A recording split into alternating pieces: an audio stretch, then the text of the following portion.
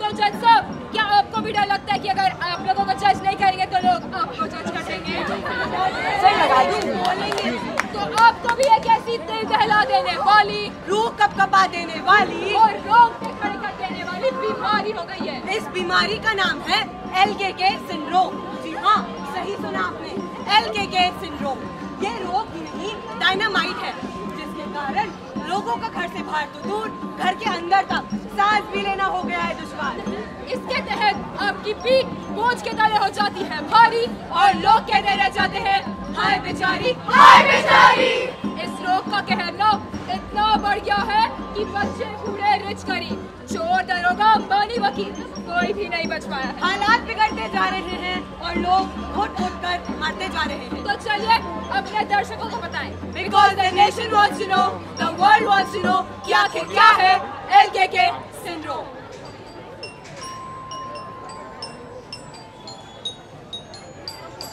News channel ने अब फिर से एक मुद्दा उठाया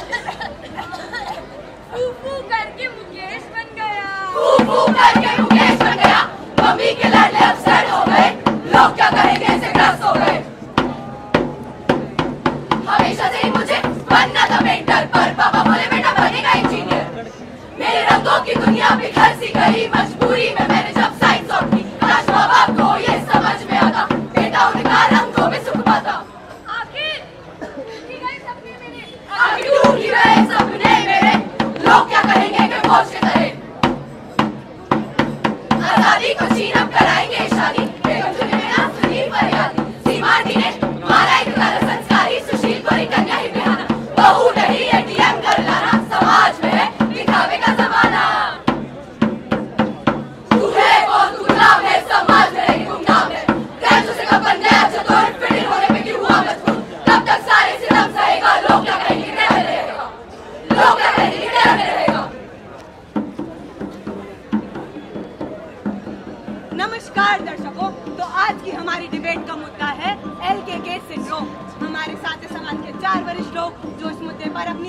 करेंगे।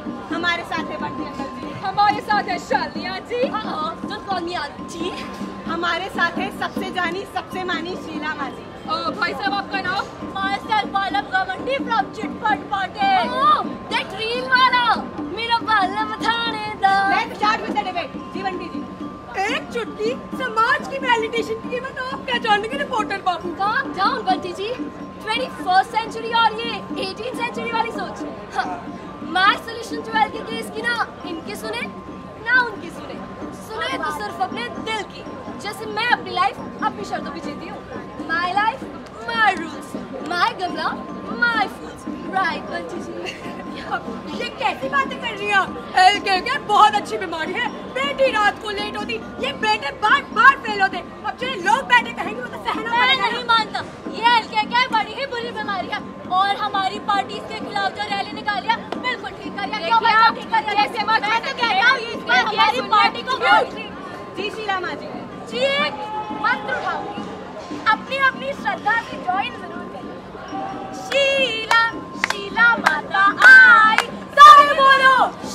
शीला शीला माता आई।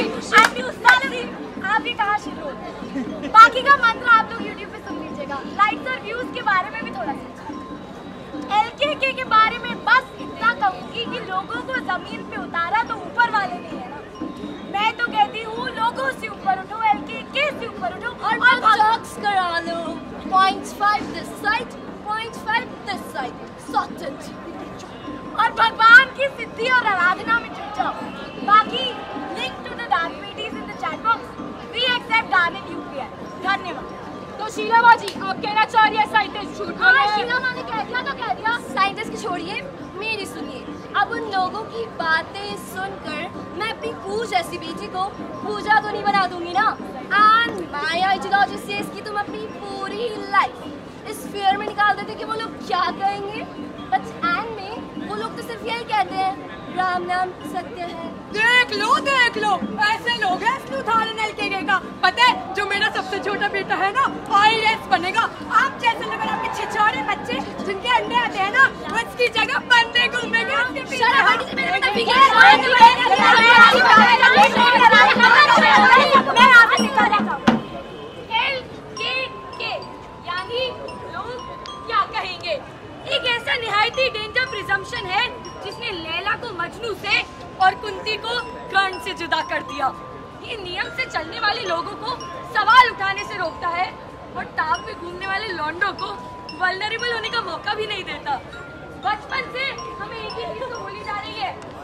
चार लोग क्या कहेंगे?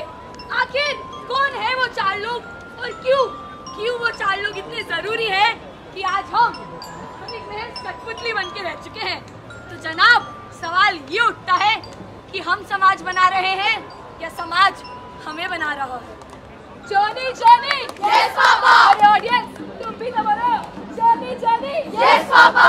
हाँ कर या ना कर तू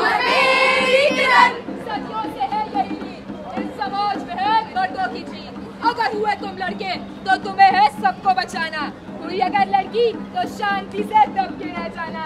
कर लो भाई मानवतावाद पे भरोसा। लेकिन वो कभी धर्म नहीं बन सकता। बनोगे तो होगा उद्धार, वरना बचेगा और अगर मेरे हिसाब से ना चले तो you will go to hell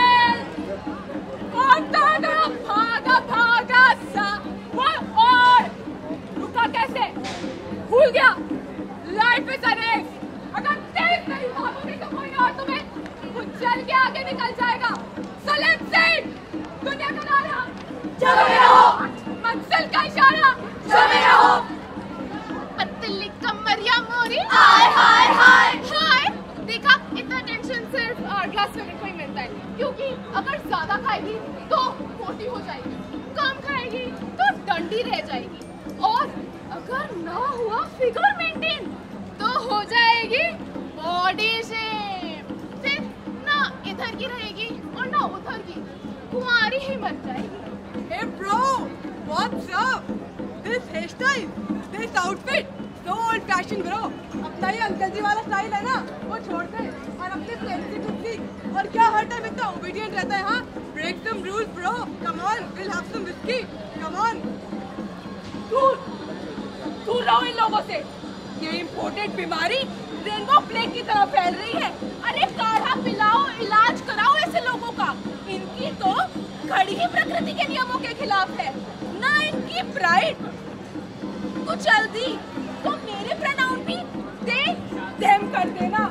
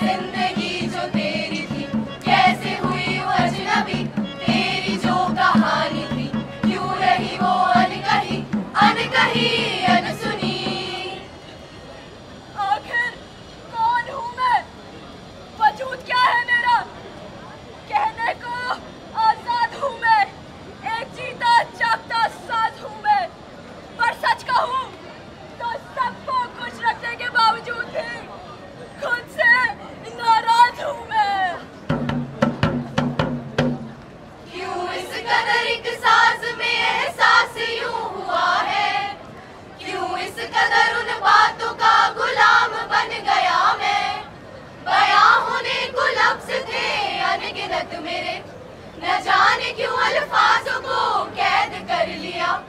ये ज़िंदगी तो कहने को थी मेरी ही, मगर क्यों पंछियों में यूँ जकड़ लिया? क्यों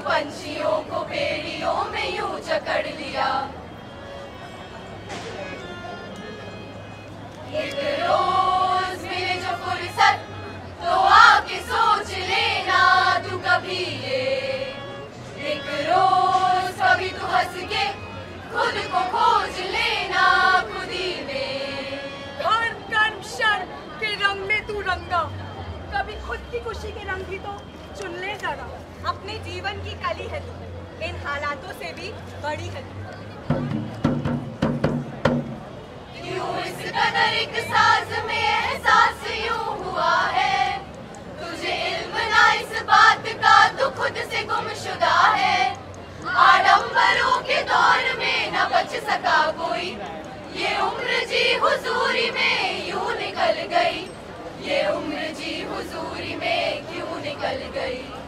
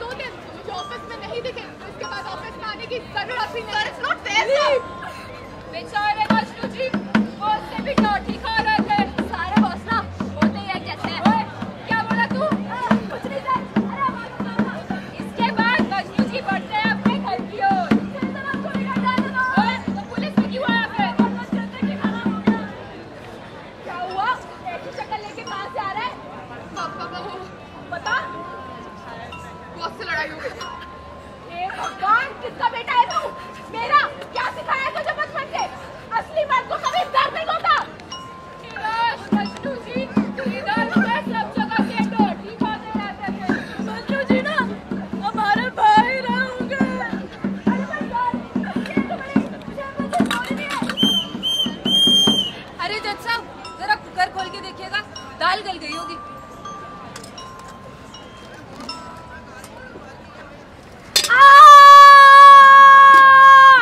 अरे ये क्या हुआ? दाल भी नहीं गली और कुकर भी खराब हो गया। न्यूटन साहब ने ना ठीक लिखा है every action has an equal and opposite reaction और बात रही इस अधूरी कहानी की तो इसे भी जरा रिवाइंड करके देखते हैं। रिवाइंड क्यों पापा? अगर मैं रोया तो मैं ना मर्द हूँ मर्द को दर्द होता है। नीरज की 20 सेकंड की डांस रील के ऊपर इन्होंने उसकी 20 साल की मर्दानगी पे छमिया कमेंट करके धक्का लगा दिया। उसको भी तो दर्द हुआ होगा ना? काम सब कुछ नहीं होता है सर। फैमिली भी कुछ होती है। मेरी माँ बीमार है। मैंने आपसे दो दिन की छुट्टी क्या मांगी? इंसानियत का आपकी? शांति बाई को भी दो ही दिन की छुट्टी चाहिए थी। अपने बेटे का इलाज कराने के लिए। तब इन्होंने साफ़ मना कर दिया। हाँ, तब कहा था ये वर्क लाइफ बैलेंस तब कहा थी इंसानियत। फ़ैशन सेंस खराब हुआ तो क्या? मैं प्यार डिजर्व नहीं करता हूँ। पर्सनालिटी भी कुछ होती है। इनकी हेड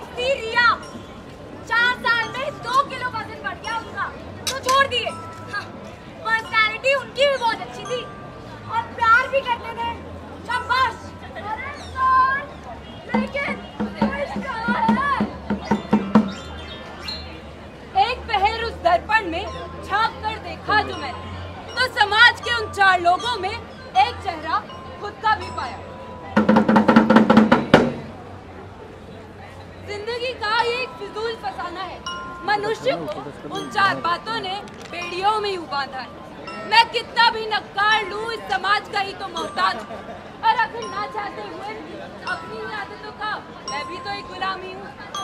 अब जब जान गया हूँ कि समाज का ही एक अंश तो इंसान को, इंसानियत से रूबरू ज़रूर करवाऊँगा। हाँ आसान तो नहीं होगा, लेकिन एक इस लोकतंत्र में मैं भी इंसानियत की सत्ता लेकर आऊँगा।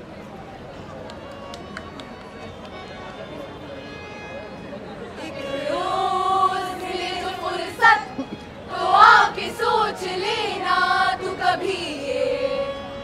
एक रोज कभी तू हंस के खुद को खोज लेना खुद ही में। हम है अभिव्यक्ति और ये थी हमारी प्रस्तुति लोकतंत्र।